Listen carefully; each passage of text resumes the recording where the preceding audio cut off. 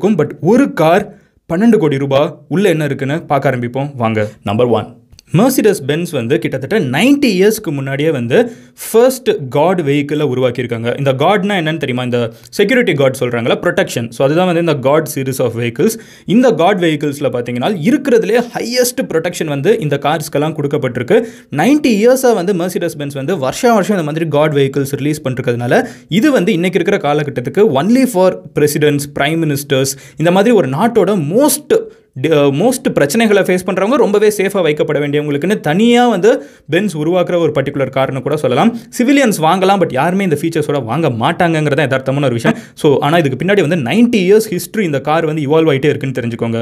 Number two என்னன்னு பார்த்தீங்கன்னா இந்த கார் வந்து விஆர் டென் லெவல் ப்ரொடெக்ஷன் வாங்கின ஒரு பர்டிகுலர் சர்டிஃபிகேஷன் வாங்கின ஒரு பர்டிகுலர் கார் விஆர் லெவல் டென்னா என்ன மாதிரி முதல்ல அதை சொல்லுன்னு கேட்டிங்கன்னா ஸோ நீங்கள் இப்போ பார்த்துட்டு இருக்கிறது என்னன்னு பார்த்தீங்கன்னா ஆர்மர் பியர்சிங் புல்லட்ஸ் சாதாரண புல்லட் கிடையாது. இது வந்து புல்லட் ப்ரூஃபாக இருந்தால் கூட போய் தாக்கிடும். ஆனால் இந்த கார் என்ன பண்ணுறாங்கன்னு பார்த்தீங்கன்னா ஆர்மரை உடச்சிட்டு வர புல்லட்டை விட ஒரு பெட்டரான சேஃப்டி கொடுக்கணுங்கிறதுக்காக காட் வந்து இந்த கண்ணாடியிலே இருக்கட்டும் காரை சுற்றியுமே வச்சுருக்காங்க. ஸோ புல்லட் பியர்சிங் புல்லட்னால கூட இந்த காருக்குள்ளே தொலைக்க முடியாதுங்கிறது தான் யதார்த்தமான ஒரு விஷயம். அதுக்கு தான் வந்து இவங்க விஆர் லெவல் டென் ரேட்டிங் வாங்கி வச்சுருக்காங்க. உலகத்தில் ஒன்று ரெண்டு கார்ஸ் தான் வந்து இந்த ரேட்டிங்கே வாங்கியிருக்குன்னு தெரிஞ்சுக்கோங்க. தேர்டு முக்கியமான விஷயம் என்ன அப்படின்னு பார்த்தீங்கன்னா இந்த கார் வந்து லக்ஸுரினா வந்து இழைச்சிருக்காங்கங்க உள்ளுக்குள்ளே காசை. இந்த காரோட ரியர் சீட்டை தான் நீங்கள் இப்போ பார்த்துட்டு இருக்கீங்க. எத்தனை ஸ்க்ரீன் இருக்குன்னு மட்டும் பாருங்களேன். பின்னாடி நான் சொல்கிறேன் முன்னாடி கூட கிடையாது. இங்கே ஒரு பர்சனலைஸ்டு ஸ்க்ரீன் இங்கே இருக்கிற பேசஞ்சர் யூஸ் பண்ணிக்கிறதுக்கு இங்கே ஒரு பர்சனலைஸ்டு ஸ்க்ரீன் இது போ இது ரெண்டுமே வந்து என்டர்டைன்மெண்ட்டுக்கு அதுக்குள்ளே வந்து அவங்க என்ன பார்க்கணும்னு நினச்சிக்கிறாங்களோ பார்த்துப்பாங்க. இது போக வந்து சென்ட்ரலாக ஒரு பர்டிகுலர் ஸ்க்ரீன் இருக்குது பாருங்கள் இந்த ஸ்க்ரீன் வந்து ஐபேட் மாதிரி ஒரு ரிமோட் மாதிரி நீங்கள் தனியாக கலட்டிக்கலாம் இதை கலட்டிட்டிங்கன்னா வந்து ஆட்டோமேட்டிக்காக இந்த காருக்குள்ளே இருக்கிற எல்லா விஷயத்தையுமே நீங்கள் இந்த ஒரு பர்டிகுலர் கன்சோலை வச்சு கண்ட்ரோல் பண்ணலாம். இது வந்து பிரைம் மினிஸ்டருக்கு மட்டும்தான் ஆக்சஸ் இருக்கிற மாதிரியும் பார்த்துப்பாங்க. ஃபோர்த் இன்ட்ரெஸ்டிங்கான விஷயம் என்ன அப்படின்னு பார்த்தீங்கன்னா இந்த மேபாக் கார் வந்து ஒரு all wheel drive car first வந்து இந்த வீல் பார்த்த உடனே வந்து நம்மளுக்கு பயங்கர இன்ட்ரெஸ்டிங்காக இருக்கும். இப்படி ஒரு ரிம் நம்ம பார்த்துருக்கவே மாட்டோம். இன்னும் மாதிரி வேற மாதிரி இருக்குன்னு யோசிக்க தோணும். லுக்ஸ் மட்டும் இல்லைங்க. இந்த காரோட வீல் கெப்பாசிட்டியும் நான் சொல்கிறேன் ஜென்ரலாக நம்ம ரோட்டில் பார்க்குற எல்லா காருமே வந்து ஒன்று ஃப்ரண்ட் வீல் டிரைவாக இருக்கும் இல்லை ரியர் வீல் டிரைவ்ஸாக இருக்கும். பட் இது என்ன அப்படின்னு பார்த்தீங்கன்னா ஆல் வீல் டிரைவ் இது எங்கே ஹெல்ப் ஆகும் அப்படின்னு பார்த்தீங்கன்னா ஸ்னோவாக இருக்கட்டும் சாண்டாக இருக்கட்டும் பீச்சுக்குள்ளேயாக இருக்கட்டும் எவ்வளோ பிரச்சனை இருந்தாலும் இந்த காரை வந்து எடுத்துகிட்டு போகிறது வேறு லெவல் ஈஸி மர்சிடஸ் பென்ஸோட லைனப்லேயே மொதல் saloon car to have all wheel drive இதுதான் தெரிஞ்சுக்கோங்க.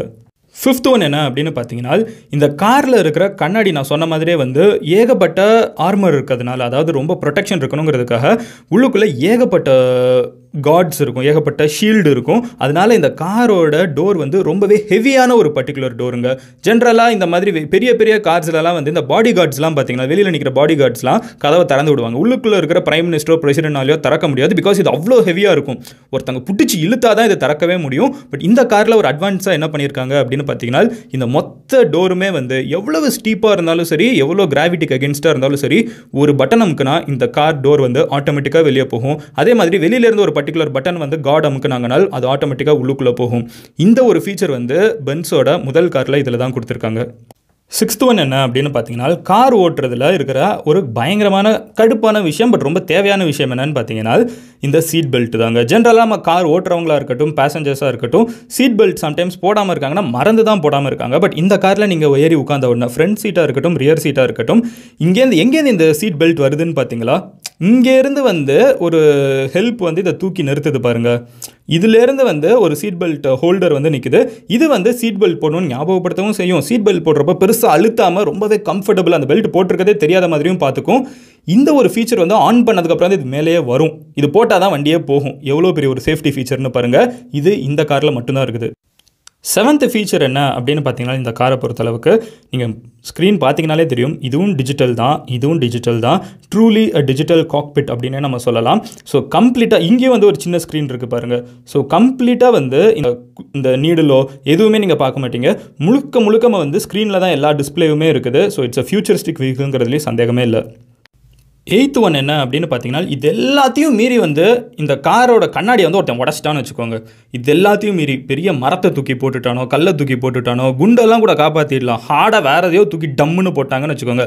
காரே கூட தலை குப்புற விழுகுது. இந்த மாதிரி கார் கண்ணாடி ஆகி நம்ம எல்லா ஆக்சிடென்ட்லையும் பார்த்துருப்போம் கரெக்டாக மோஸ்ட் ஆஃப் த டைம் என்ன ஆகும்னு பார்த்தீங்கன்னா இந்த மாதிரி கண்ணாடி செதறப்போ அதுலேருந்து வர ஸ்பிளிண்டர்ஸ் செதறி போகிற கண்ணாடி தான் வந்து நிறைய பேர் உள்ளே இருக்கிற பேசஞ்சர்ஸ் மேலே பட்டுறதா இருக்கட்டும் கை காலெல்லாம் கீச்சுறதா இருக்கட்டும் நடக்கும். பட் இந்த காரில் நீங்கள் என்ன அடி அடிச்சிங்கனாலும் இந்த கண்ணாடியே உடஞ்சாங்கன்னா கூட அதுக்கப்புறமுமே வந்து ஒரு பாலிகார்பனேட் லேயர் கொடுத்துருப்பாங்க. அதனால இந்த கண்ணாடி உடஞ்சா கூட இதிலிருந்து ஸ்பிளிண்டர்ஸ் வந்தால் கூட தெரிச்சா கூட அது வந்து உள்ளே இருக்கிற பேசஞ்சர் கிட்ட போகவே ஆகாது.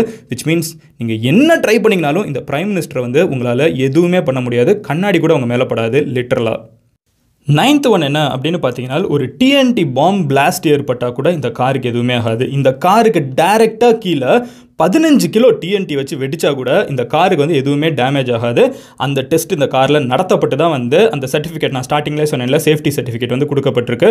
ஸோ யோசிச்சு பாருங்கள் இது ஆக்சுவலாக வந்து டிஎன்டி பதினஞ்சு கிலோ பாம் பிளாஸ்ட் வந்து பார்க்குறதுக்கு இப்படி தான் இருக்கும்.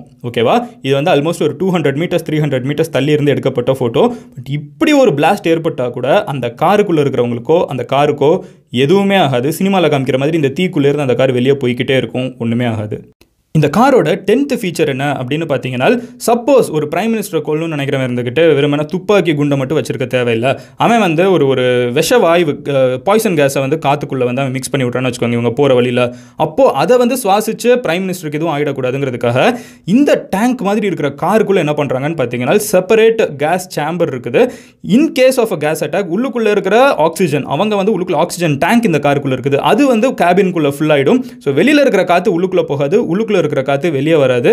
ஆப்சல்யூட்டாக வந்து சேஃபாக உள்ளுக்குள்ளே வச்சுக்க முடியும். ஒரு கேஸ் அட்டாக் அப்போ கூட. லெவன்த் ஒன் என்ன அப்படின்னு பார்த்தீங்கன்னா இந்த தீவிரவாத அமைப்போ இல்லை ஒரு எதிரியோ இருந்துக்கிட்டு பிரைம் மினிஸ்டரோட காரை எப்படியாவது போங்கு போகணும்னு நினச்சி போகிற வழி ஃபுல்லாக நல்ல முள்ளு முள்ளாக போட்டு விட்டு இல்லை ஆணி ஆணியாக அடித்து விட்டு ரோட்டில் வச்சுருந்தா கண்டிப்பாக டயர் பங்க்சர் ஆகுங்கிறதுல சந்தேகமே இல்லை. பிகாஸ் இட்ஸ் டயர் பங்க்சர் தான் ஆகணும். ஆனால் இந்த காரில் இருக்கிற கெப்பாசிட்டி என்னன்னு பார்த்தீங்கன்னா டயர் பங்க்சர் ஆனதுக்கு அப்புறமுமே வந்து சிக்ஸ்டி கிலோமீட்டர்ஸ்க்கு காரில் வந்து ஒரு சின்ன சேஞ்ச் கூட இல்லாமல் அப்படியே போகிற கெப்பாசிட்டி இருக்குது. இந்த அறுபது கிலோமீட்டருங்கிறது ஒரு ஊர்லேருந்து இன்னொரு ஊருக்கு போகிற டிஸ்டன்ஸ் ஸோ இந்த டிஸ்டன்ஸில் வந்து நம்ம காரோட டயரை ரீப்ளேஸ் பண்ணிட முடியுங்கிறது தான் வந்து இந்த பின்னாடி இருக்கிற ஒரு particular logic so anti flat tyres அதாவது பங்க்சர் ஆனால் கூட ஓடுற டயர்ஸ் வந்து இந்த காரில் அட்டாச் பண்ணப்பட்டிருக்குன்னு தெரிஞ்சுக்கோங்க. அஃப்கோர்ஸ் டுவெல்த் அண்ட் தேர்ட்டீன்த் விஷயம் இந்த காரை பற்றி என்னன்னு பார்த்தீங்கன்னா இந்த காரோட டோரில் இருக்கிற பட்டன்ஸ்லாம் நீங்கள் கவனிச்சிங்களா?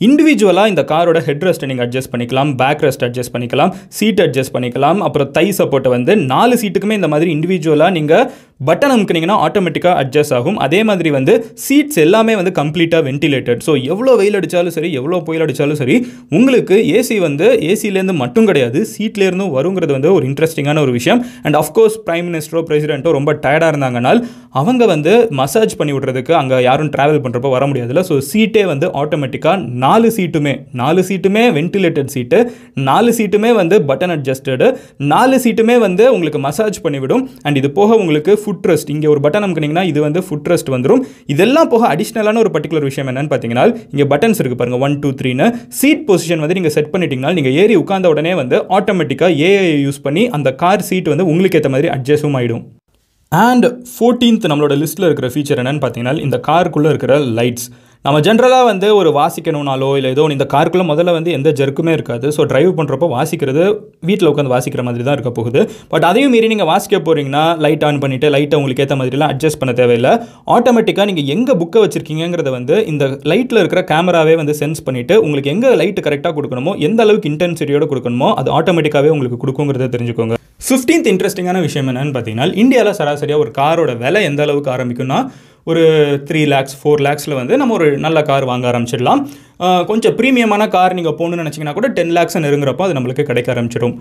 இந்த மர்சிரஸ் பென்ஸ் கார் வந்து டுவெல் க்ரோர்ஸ் ஸோ அஞ்சு லட்ச ரூபாய் ஆறு லட்ச ரூபாய் எங்கே இருக்குன்னு யோசிச்சு பாருங்க. பன்னெண்டு கோடி ரூபாய் எங்கே இருக்குன்னு யோசிச்சு பாருங்க. இவ்வளவு டிஃப்ரென்ஸ் இருந்தாலும் இந்த ஒரு சாதாரண அஞ்சு லட்ச ரூபாய் ஆறு லட்ச ரூபாய் காரில் இருக்கிறது இந்த காரில் இல்லாத ஒரு ஃபீச்சர் என்னன்னு பார்த்தீங்கன்னா சன்ரூஃப் ஏன்னா இந்த கார் வந்து முழுக்க முழுக்க சேஃப்டியை மைண்ட் பண்ணி கட்டப்பட்டதுனால சன்ரூஃப் வந்து ஒரு சேஃபான ஃபீச்சர் கிடையாது. அது உள்ளுக்குள்ளே வர புல்லட்டாக இருக்கட்டும் குண்டாக இருக்கட்டும் எதுக்குமே வந்து அது ஒரு சேஃபான ஃபீச்சர் இல்லைங்கிறதுனால இவ்வளோ செலவு பண்ணாலும் அந்த காரில் வந்து சன்ரூஃப் இல்லை அப்படின்னு தெரிஞ்சுக்கோங்க.